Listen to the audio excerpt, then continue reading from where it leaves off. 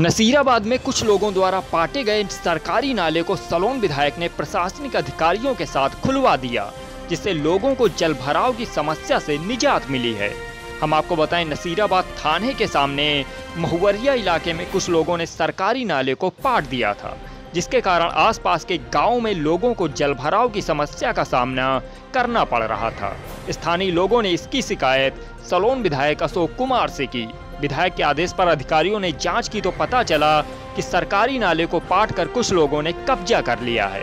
बुधवार को सलोन विधायक अशोक कुमार ने नायब तहसीलदार शंभू शरण पांडे व पुलिस के साथ उपस्थित होकर नाले की खुदाई करवाकर जल भराव की समस्या से लोगों को निजात दिलाया।